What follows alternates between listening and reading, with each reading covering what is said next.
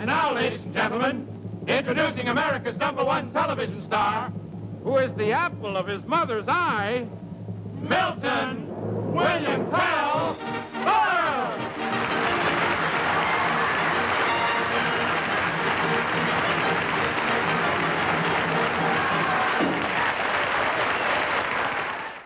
Well, I mean, I have my own show. I'm the star of my oh, own your own show. Sure. I never miss it. You never miss it? I never see it, so I never miss it.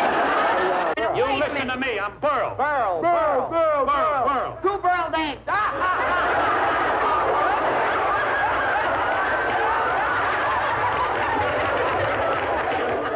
Now, you listen to me.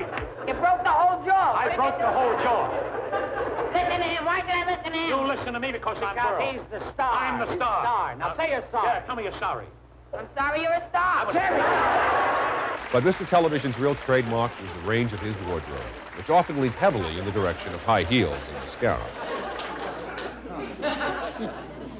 Just around the corner, uh, there's a rainbow in the sky.